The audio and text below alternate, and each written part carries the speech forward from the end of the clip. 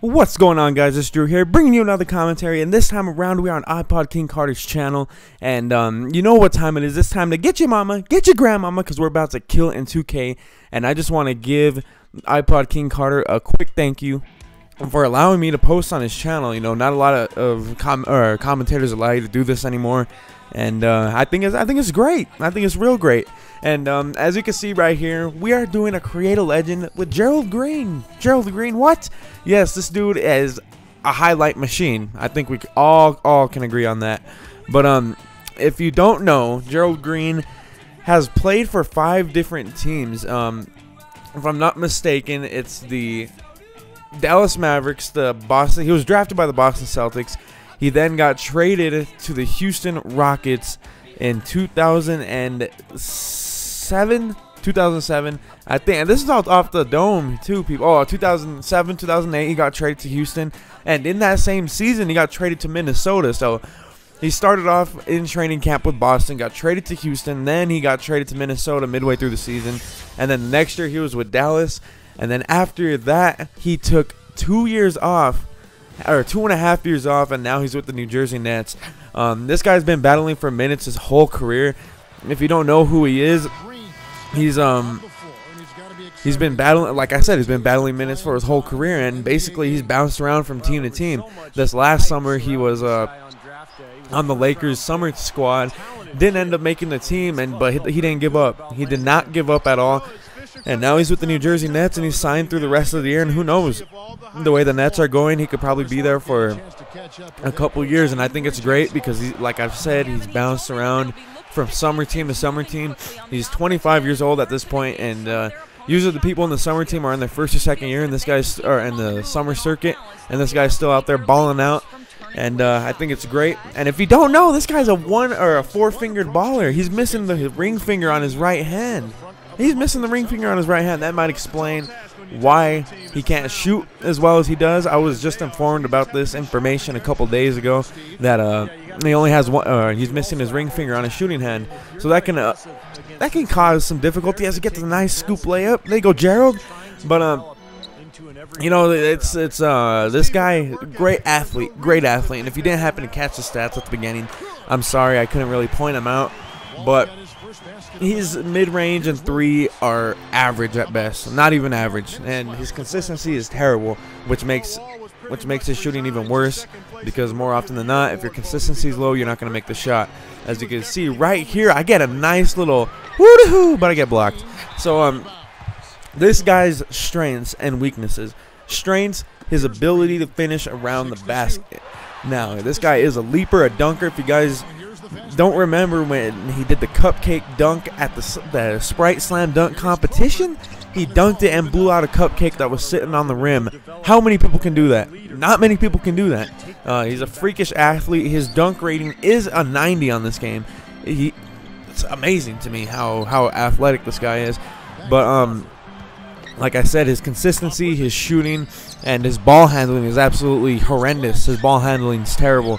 He gets, I think I get picked off at least like three times in this game, and um, that's something that we're really gonna have to work on, and uh, something that I really look to improve. I want to make this. Get that block out of here, baby. Gerald Green's got ups for days, man. He could jump out the building. Uh, that's the one thing I like about starting off with this guy, because when you start off with the my player, generally, you're not gonna be able to be that athletic. Like this guy's stamina is good, his speed is pretty good, and his jumping ability and dunking as he get the nice little oopty doop layup, baby. That was beautiful. And um, when you start off with this guy, he's got all those uh, core physical attributes that you like as I give up the wide open three to the Washington Wizards. How we losing to the Wiz? Come on now. And uh, I don't know if I pointed this out already, but I start, uh, I play on Hall of Fame all day, every day. Sign. And um, you know, when you start off with a guy like Gerald Green, where you get the stamina, you get the vertical, you get the speed, you get everything right away. I think it's um really fun to use. And look at this! Ooh, on the Kobe moves down low. That was beautiful. So um, basically, right now I want to talk a little bit about my channel. You know, I don't want to sit here and just try to pimp myself out the whole time. If you guys do in fact like what you see so far, I do, I do want you guys to come by and check out my channel. It's Chris Humpty Hump hits the three, or hits the three, hits the mid-range jumper. Um, I do post 2K quite off or quite often. I like posting 2K. I got a uh, NBA 2K12 Lakers Association, and uh, look at that. We're getting, we're hustling down low. We got to get this board though, baby. Get that Gerald Green. See, he gets ups and he gets boards on this game. But um, I do like posting 2K. This is my first my player or create a legend on this game because um, I, I honestly don't. I didn't like doing my player besides the fact of crew. And once crew was not on this game, I did not want to do it at all. Um, crew was my motivation to play my player like 100%. There was no other reason to play my player for me except for getting better so I wouldn't hold my team back when we played crew. And look at this. Oh, put the hands up. He's running, running, running. Woo, boom, baby. That was beautiful right there. What the hell was that? Moment of silence, please, from the rim. Rest in peace. But like I was saying, I do like to post 2K. I post Call of Duty as well. Um, I know most uh, like you guys on here are mainly like 90% 2K 2K watchers, but I do post 2K. I would like to post more, more and more. I'm I'm starting to post more and more. I'm starting to post at least like three 2K videos a week and three Call of Duty videos a week. I like to split them, but I, I would like to post more uh, 2K videos. And if I had a, a little bit of incentive to post them, then I would be more willing to post more and more. And um, on the Call of Duty side of things, I like to think of myself as a pretty darn good gamer. Uh-oh. Uh-oh. Gerald Green, whenever he's on the fast break, look at that. Ooh, glide into the rim. Glide into the rim. Look at that. Oh, he tucks it to the right, goes back. Oh, I love that dunk. That dunk was better than the first one.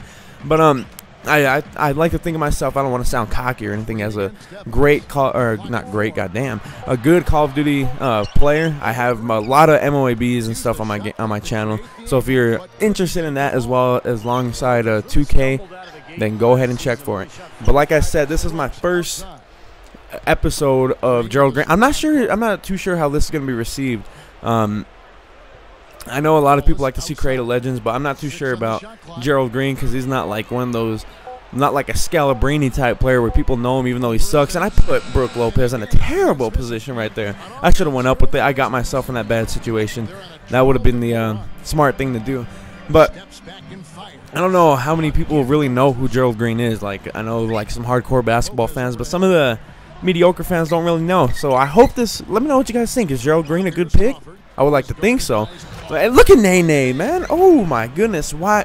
Well, I know why Denver traded him, but man, I would have kept him over JaVale McGee. Heartbeat, I would have kept him, even though he was underperforming a little bit this year. You just got to work with him and keep busting and busting. So at this point, if you haven't noticed, we're down 17. You know, it's opening night and we're already getting blown out. Um, I try to do my best. At this point, I have 10 points and 4 rebounds, which is not phenomenal, but it's good for Gerald Green. And look at this. I chuck up a shot and it goes in. I don't know how that went But I don't winning a Hall of Fame is not something that's obviously impossible, but I honestly don't know how to do it without taking over the game. And I do not want to take over the game. And look at that windmill, two-handed windmill, baby. Looking Vince Carter-esque on the break. The back to the Vince Carter New Jersey days. But uh, I really don't know how to win on Hall of Fame without taking over. If you guys can leave me some tips, that'll that'll tremendously help me out. Um, the only the only way I can win on Hall of Fame is if I just straight take over with the player that I'm using, and I don't want to do that because that's not fun to watch. I want to play through the flow of the offense, and um, I want to run the plays, and I just want to do the best I can within the offense. I don't want to make it unrealistic to the point where Gerald Wallace, ah, catch that, baby. Uh, I don't want to make it to the point where Gerald Wallace is out there dominating the ball 90% of the time. And one quick question, if you guys know to grab the alley oops, do I have to update my hands or my dunking? I'm not too sure. Not too sure. On the last game, I'm pretty sure it was just dunking, but on this one, I'm a noob when it comes to this kind of stuff. And he's putting the Kobe footwork on again. He almost gets the end one. It rims out. So, you know, we're losing by 20 at this point, and uh, pretty here, or here pretty soon, I get subbed out, and it's a, there's like a minute left in the fourth quarter. So basically, this game I got a, lot of mop-up minutes. I got a lot of garbage minutes. Um, and I just we got we got to get more minutes on this team. We got to earn a spot on this team, and that's just not the way we're gonna do it right there. So if you guys will please leave a rating, leave a comment. I love comments more than anything. They tell me how I'm doing, if I'm doing anything right, um, what I need to improve on. Get that offensive rebound, baby. Go up with it. If I'm doing anything right, what I'm doing wrong. So if you guys will leave comments, they're more important to me than ratings. I love interacting with my subs. I try to message back as many as I can, unless someone's like "nice vid," then I don't or "nice vid," I'll say thanks. But they just leave me like a blatant message that there's really no respond needed to, I, I won't message you back. But if you ask me a question, I try my best every single time to message you guys back. So if you guys enjoyed, please leave a rating. Come swing by my channel. The link is down below in the description. So uh, we finish off with like 24 and 7 or something like that. Not my best game. We end up the first game is with the loss.